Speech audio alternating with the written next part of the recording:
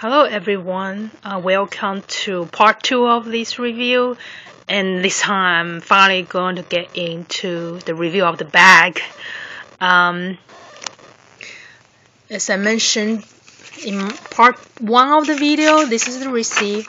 Okay, hopefully you can see it's Rivington GM Damier. It was purchased June 2011, hopefully you can see that.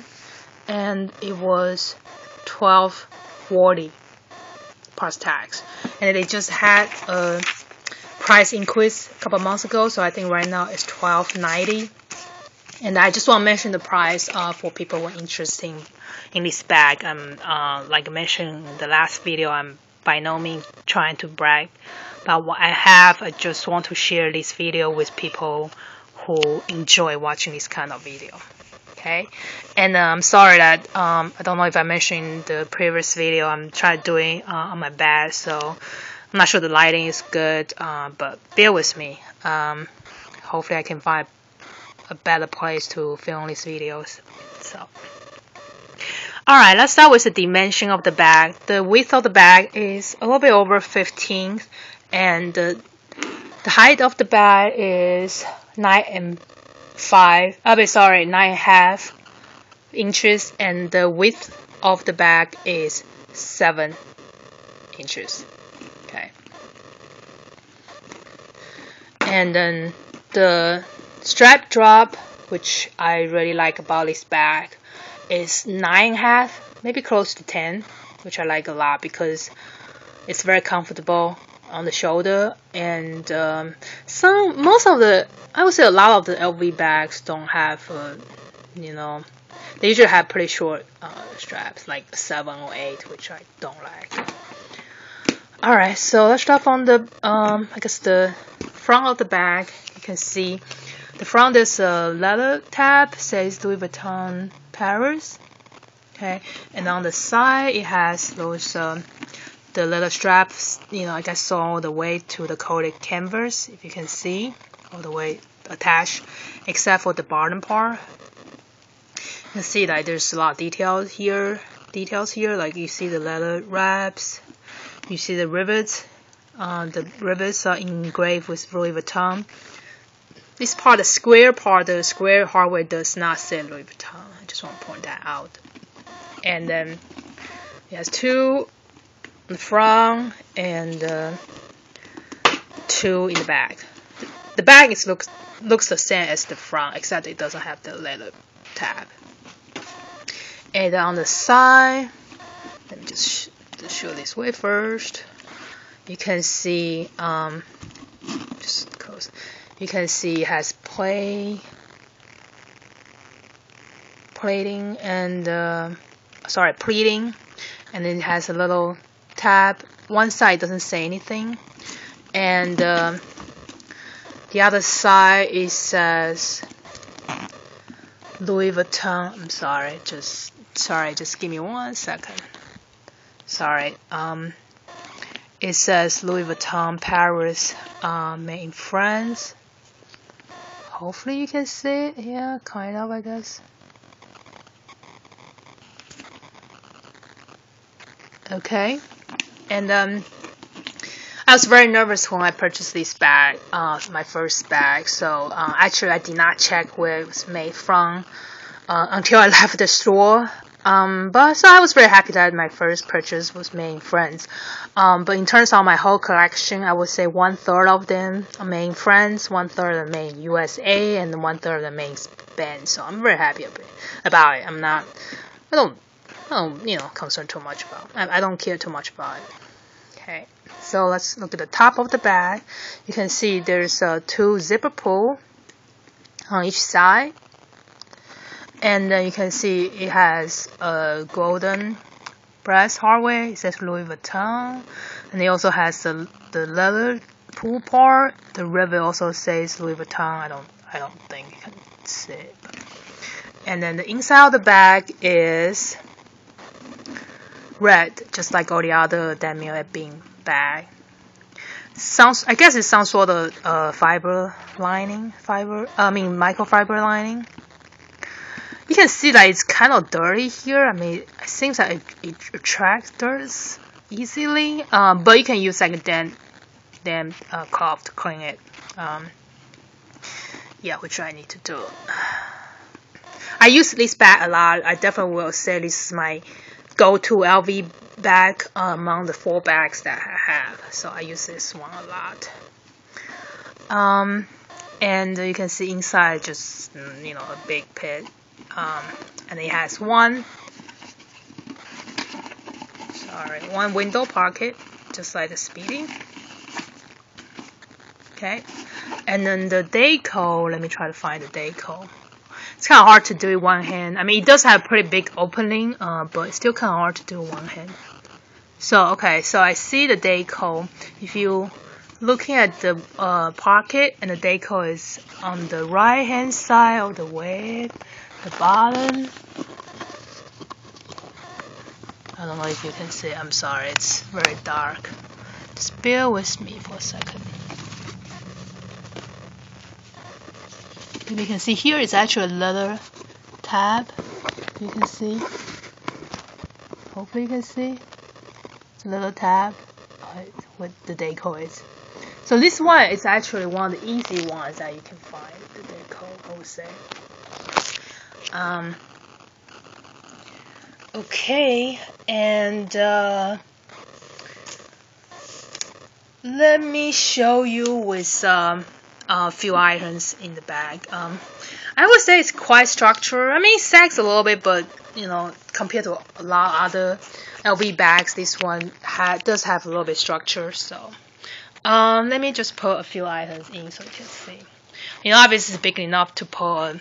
I don't have an iPad. I have this, um, um, I guess, uh, tablet, and it's 10 by 7. So just put that in. I usually don't carry um, tablet or iPad. I mean, I don't have iPad or computer with me, I would say, to work. Okay, and then I have the Zippy wallet. The Zippy wallet, so let me just put that in too.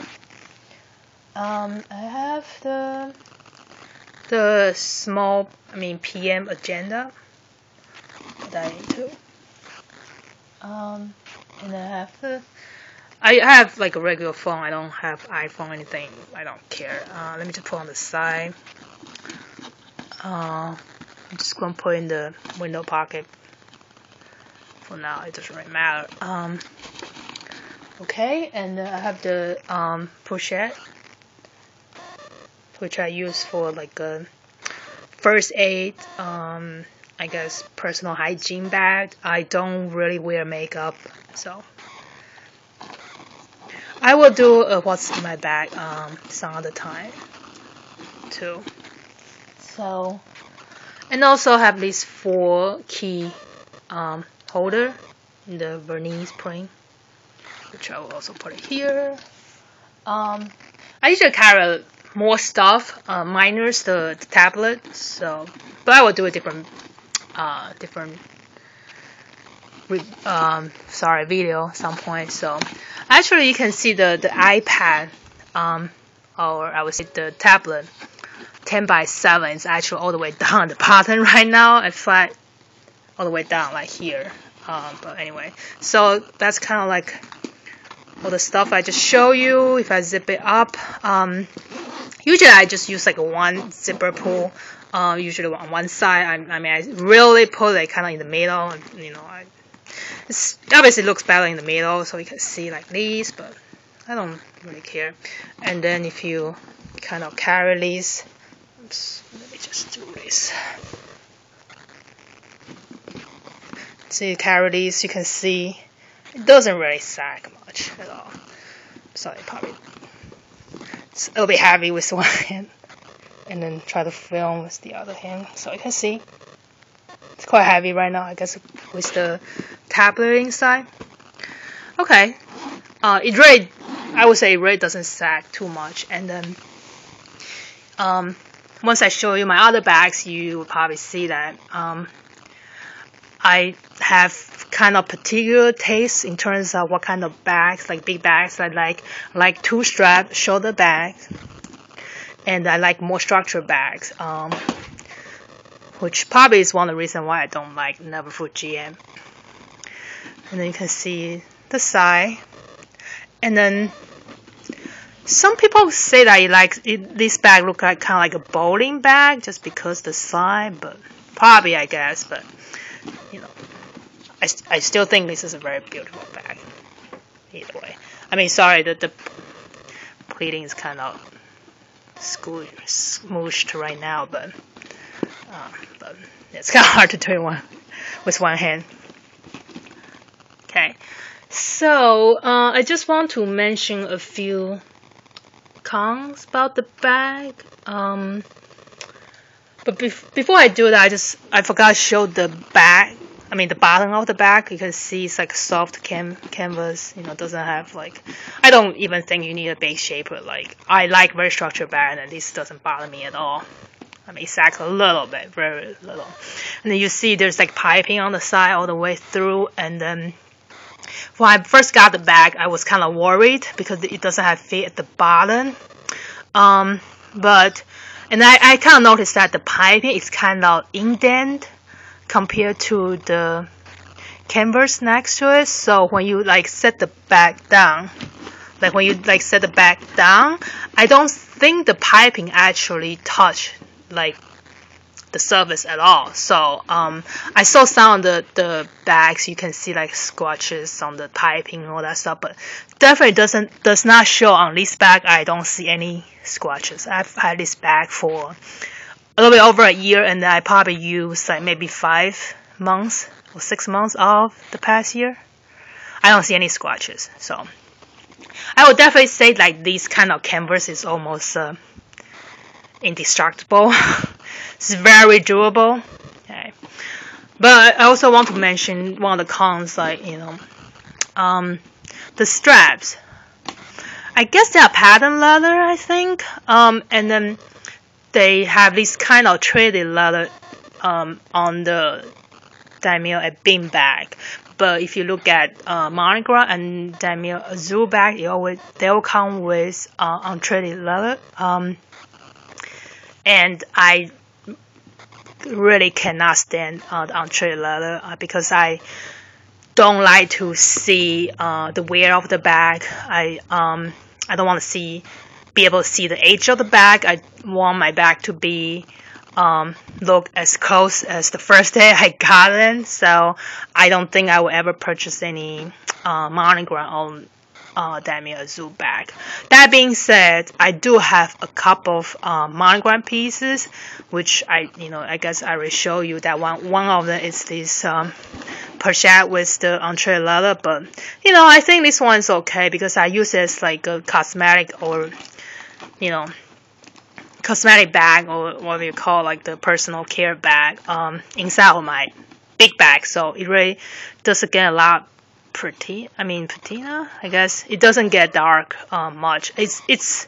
I have this is maybe for three months. It's still like fairly white. I mean, even it gets dirty or darkened. I mean, I'm okay with it because it's um, you know, rel- relative cheaper. Um, purchase uh, compared to like the bag, you know, a bag bag. So I'm okay with it. Um, but one thing I want to mention about those these kind of um, leather straps they use on the Damier um, Ebene bags is that um, it gets like wrinkly a little bit. Like you can see like right now, like the strap is pretty soft now. Like when you first get it, like it's pretty stiff, but now it's like pretty soft. But you, you can see, I don't know if you can see. Let me just kind of try. Sorry, try to zoom in a little bit. Um, I don't know if you can see like the top uh, let me just try to show you. Yeah, like here maybe. Hopefully you can see a little bit. Like it's uh, getting a little wrinkly. Um, with use. But I'm very like particular about my bag, so most people probably won't, won't notice it. I'm just quite want to mention mention to um, you know people who may be interested in buying like you know that may bean bags just you know obviously you don't have to worry about the patina all that stuff but you know it does get a little bit wrinkly if you can see okay. Um, it's very minor. It's very minor, but you know, like since this happened, which is probably after six months of use, maybe seven, six, seven months of use, I start seeing these wrinkles. And then, uh, in some my other Damier Ebene bags, it actually shows the wrinkles actually much faster. Um, so, so once I start seeing these ones, I try to be more careful with it. I mean, a little bit, not really. I don't really baby my bags. I mean, I don't abuse them, but I don't really like baby them too much. Um, but when I carry, I just try to be sure. I mean, I'm kind of worried that, you know, maybe it will start peeling, you know, sharp peeling at one point, but so far so good. You know, I guess, you know, it's really just a normal wear, you know, that's something you can avoid. So that's just one little thing. And um, another thing is the um, gonna show you like the leather straps that you see here. Like as I mentioned, that is mostly attached to the coated canvas, except for like the bottom part. So um, it kind of curved up a little bit, very little bit. Um, and you probably can see on some other Damier Ebene bag with this kind of pattern leather straps, it does curve up a little bit. Even with like the Entre leather, you know, the on the Marlin even it's the same thing. So you know, you can always curl it back a little bit. It's not that big deal, but I'm just saying that, you know, because, you know, it has like one on each side. So when you walk, when you set your back down or when you walk around, just make sure that, you know, you don't like kind of, you know, stick something there, like, you know, so. I mean, it's not like delicate or anything, but just be sure that, you know, you don't have like you know something that stick at the bottom. So you can see there's the you know it's curves a little bit. So let me just kind of kind of curl it back a little bit. I mean it's very minor. I mean it doesn't really bother me. And then and then another thing is I want to show is um um not a very small ones um just really again not a big deal that you can see hopefully you can see like the the stitches here it's not like you know ripped or anything like that, but you can see it kind of became a little bit fuzzy. You would say like maybe part of the stitches kind of got like rub off. You can probably see there. I mean a little bit maybe, hopefully. I think the reason is because like when this this part of stitches kind of when you carry the bag, you know, it's kind of connect to, you know, it's like a rub against the canvas all the time. You can see like this part like there's part of the you know stitches kind of rub against the canvas all the time. So I guess it gets like kind of rub off a little bit. Um but so I'm just calling one mention so I mean obviously I'm sure they use very strong like strands you know those stitches are very nice but I'm just saying it's kind of you can't avoid it you know it's just going to show you know where where you know since you know once you start using them just saying. Yeah they're all like very little ones so you know overall i think this is a great bag. I love it. Um this is my go-to lv bag and um you know i haven't seen any reviews on youtube. Um Guess you know it's just not that popular, but hopefully, you know, if you look at this, you know, watch my videos, and maybe you will find this bag is interesting next time you go to LV store and check it out. Um, I'm sorry, my videos are really long. I mean, I guess I'm being very chatty. um, I'm trying to like shorten my videos next time. Um, alright, so that's everything. So, um, until next time, thanks. Bye.